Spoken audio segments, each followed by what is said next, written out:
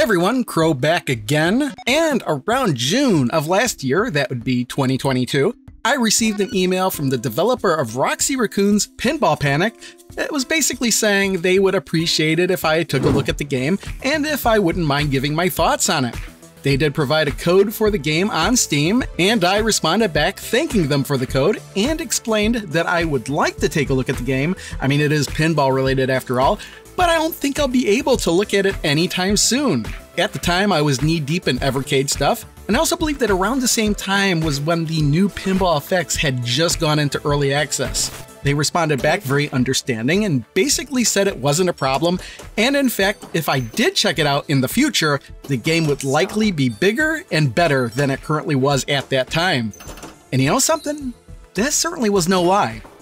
Now, Roxy Raccoon's Pinball Panic was originally released on Steam by Cinemod Studios in March of 2022 for a standard price of $4.99 US.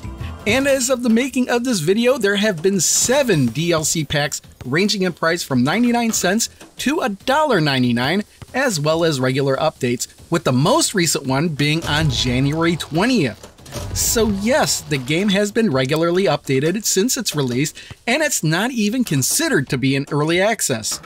So with that being said, it's possible that the details in this video may be slightly outdated by the time you see this if updates continue. Now I'm going to focus on the base game here, but I did purchase one of the DLC packs just to see what would be added if I did. And if you're thinking, hey, if this is a pinball game, shouldn't this be on your pinball channel? And yeah, I suppose I could have put this video there, but I decided to keep that channel dedicated to games like Pinball FX and Zaccaria Pinball. In this game, there's a story mode, and the ball itself is the main character, Roxy Raccoon, and you play through a series of theme tables attempting to surpass a set score in order to continue the story and move on to the next table. And the story? Well, something about a witch getting revenge on Roxy Raccoon, something like that. I was kind of unclear about what was going on, but that's not really important to the game itself. I wonder if it would have made more sense if I played the original game. Oh yeah, I didn't mention that this is the second in a series of games featuring Roxy Raccoon, the first one simply being called Roxy Raccoon, However, that seems to be a 3D platformer, and it does seem pretty interesting, so I might wind up checking that out one day as well. There's also a bowling game in the series, that's another one I'm kind of interested in.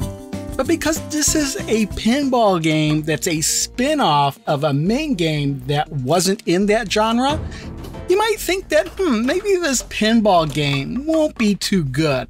But you know what? It isn't bad for what it is.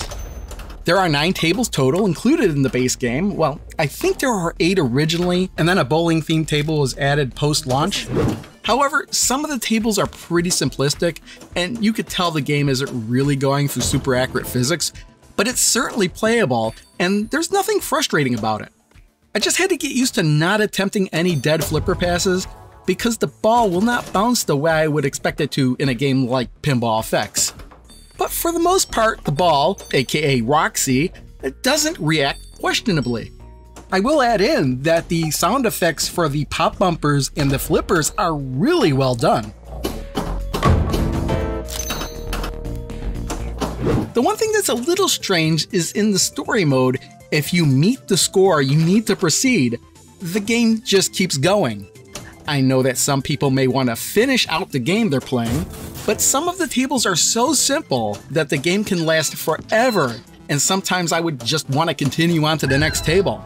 So I kind of wish there was something a little bit more noticeable to indicate you can stop playing the current table and move on if you want to.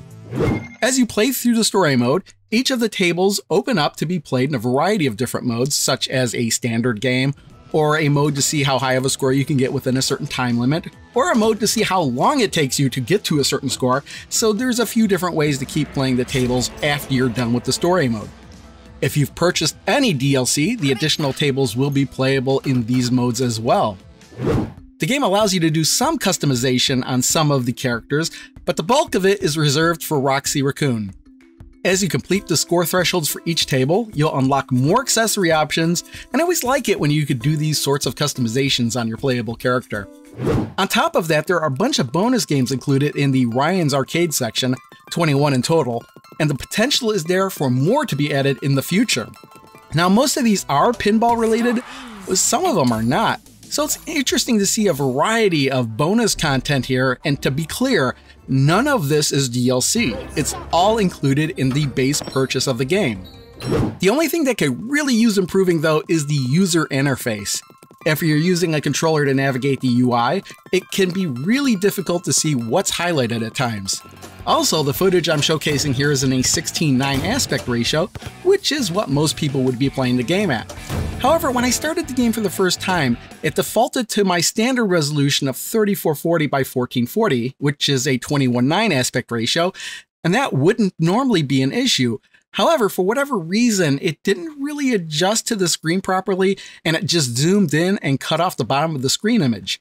Now, it's fine if the game doesn't support ultra widescreen, but it's kind of a bad first impression to see the game with a chunk of the screen missing, Uh, though it would only really affect people with ultra widescreen monitors. For $4.99 on Steam, I'd say this is worth it though I really can't see myself going back and playing most of the 9 tables that were included as part of the story mode.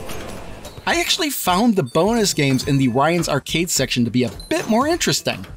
Although, now that I think about it, I could see myself revisiting the 9 original tables, but only in the timed or survival modes just to keep the game short.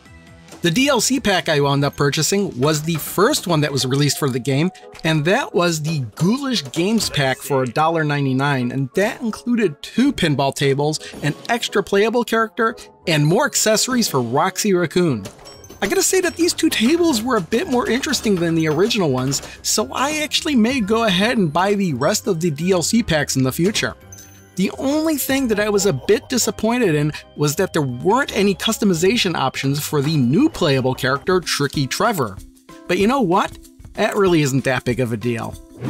So yeah, just wanted to get this game on your radar, and if it looks interesting at $4.99, I'd say it's worth a purchase, or at the very least putting on your wish list. I can't say for certain if this game and its DLC goes on sale very frequently, but if it does, I'll definitely snatch up the rest of the DLC right then and there. See y'all next time.